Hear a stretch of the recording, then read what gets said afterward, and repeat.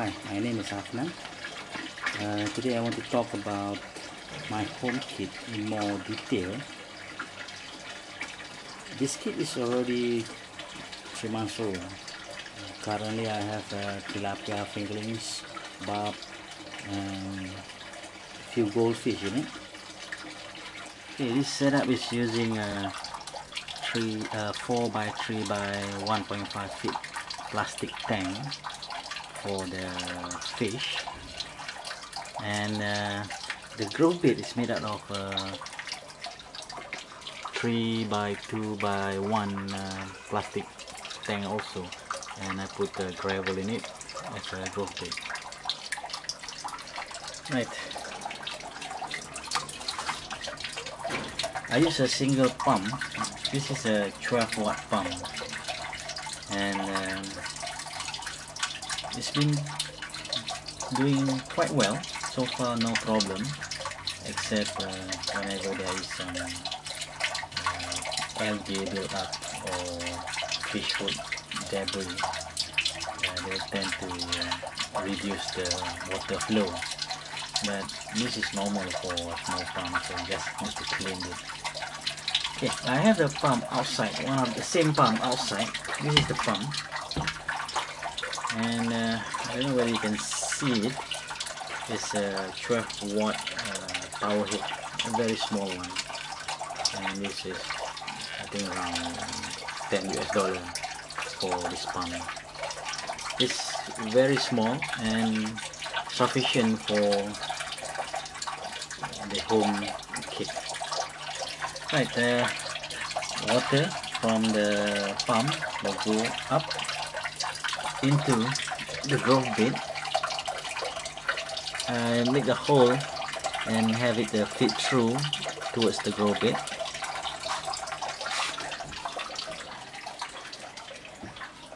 and it come up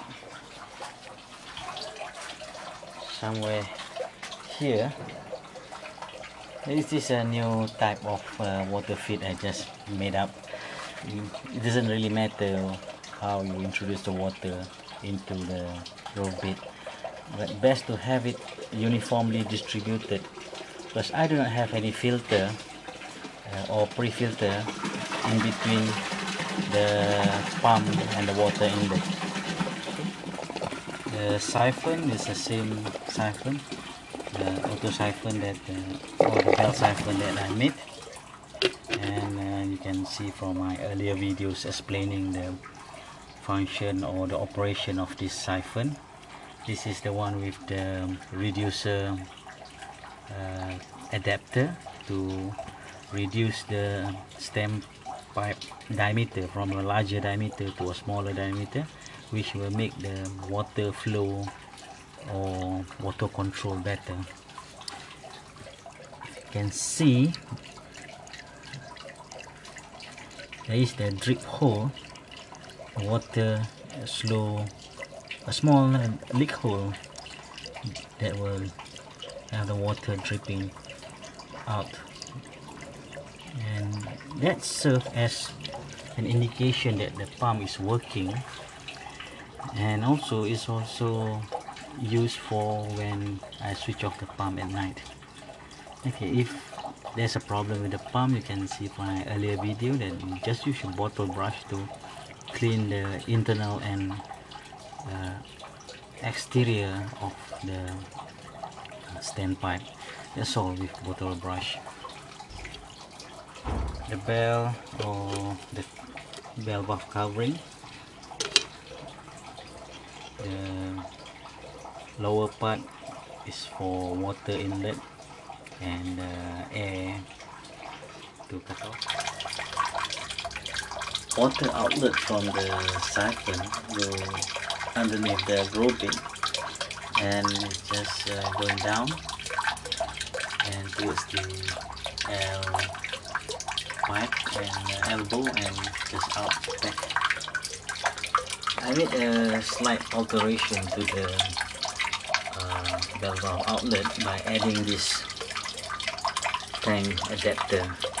The reason is that as the uh, palm weaken I need to have a, a better restriction a slight restriction required for the water flowing out. Uh, this will help the palm so that uh, with weakening of the palm it will still uh, flush without any problem. Otherwise I may have problem with water not flushing. And uh, previously I've just used a normal uh, elbow without any uh, adapter and uh, this is okay if the pump does not uh, weaken by prolonged usage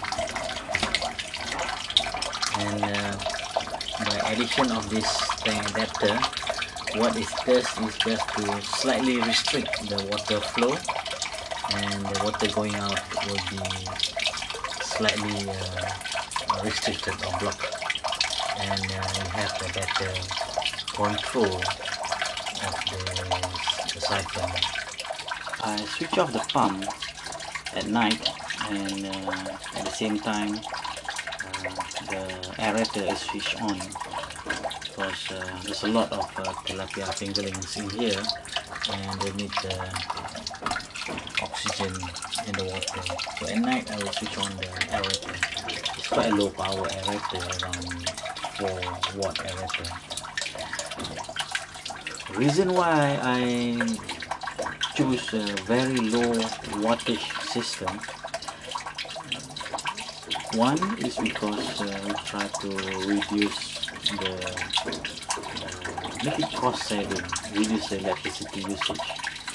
Another thing is I intend to design a system using solar. So to use solar electricity if the pump is such a heavy or high wattage pump it will be more expensive or more difficult to design and having a very low capacity pump and a low wattage pump it will be much easier. The running cost of this uh, setup in terms of electricity bill is about uh, in Malaysian ringgit is about 10 cent.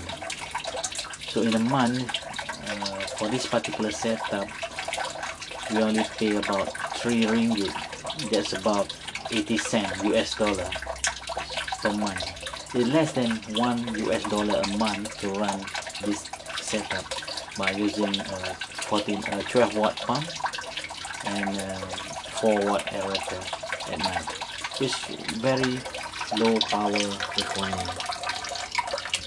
And my intention is to have it uh, run from solar cell and that's the reason why I'm experimenting with such a low power system you can have a bigger grow bin with this uh, size of tank uh, the only difference is that uh, the period or the interval between flush will be longer because it takes uh, longer time to fill up the growth bed. It doesn't hurt the system. In fact, I would recommend uh, to have a bigger growth bed to maximize on the uh, the fish uh, water. I use uh, 200 kilogram of gravel it's about 10 bags of gravel and these are not exactly river river pebbles but uh, I mix the bigger and the smaller size to make it uh, better. The smaller pebbles will not be that good to uh, hold the plants. And the bigger one is by themselves will be quite difficult to work on because they are quite big. So I just mix them about half half.